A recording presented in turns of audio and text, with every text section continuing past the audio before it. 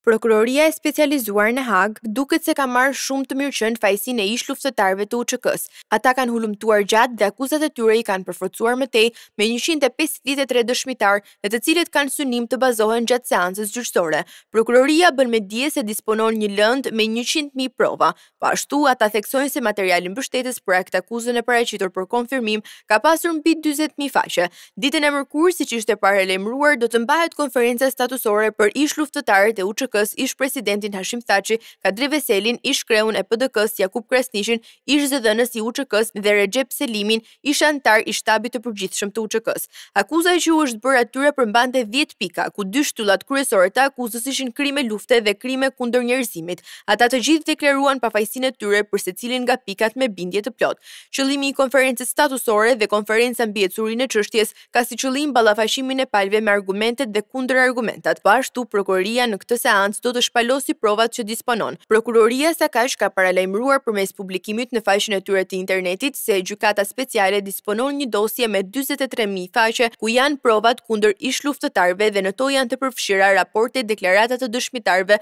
fotografi e mbi njëzet orë material audiovizual të cilat do t'i dorëzohen palës mbrojtëse në mënyrë që t'i shqyrtojë Rregullorja e procedurës dhe e provave para dhomave të specializuara parashikon se brenda 30 ditëve që nga paraqitja e parë e të akuzuarve në gjykatë, prokurori i specializuar duhet të njoftojë mbrojtjen për çdo material dhe provë që ka në zotërim, si dhe me kërkesë të mbrojtjes dhe do t'i dorëzojë të gjitha materialet që disponon. Prokuroria parashtron se deri më datë 30 prill dy mijë e njëzet e një do të sigurojë materialin e hollësishëm mbrojtës, si dhe deri më datë 31 maj dy mijë e njëzet e një do të jetë në gjendje t'i ofrojë listën e plotë të dëshmitarëve. Kjo bëhet në mënyrë që procedurat aktuale paraprake pranë dhomave të specializuara të jenë afër përfundimit dhe se në të njëjtën kohë kanë planifikuar fillimin e gjykimit. Prokuroria aktualisht parashikon shtimin e afërsisht pesëdhjetë dëshmitarëve të tjerë në listën e dëshmitarëve për gjykim, megjithëse numri përfundimtar i dëshmitarëve mund të ndryshojë, varësisht nga rezultatet e hetimeve të mbetura. thuhet në këtë parashtresë.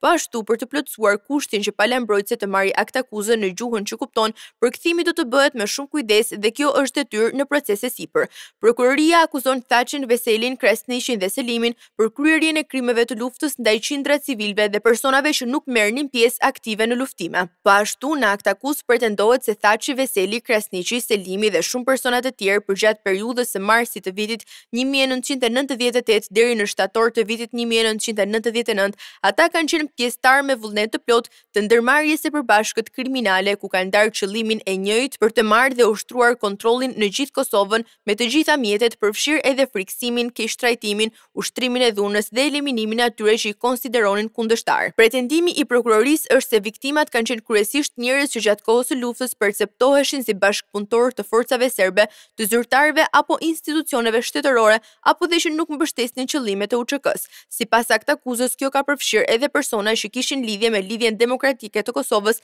LDK-në, dhe persona të etnisë serbe, rome dhe etnive të tjera.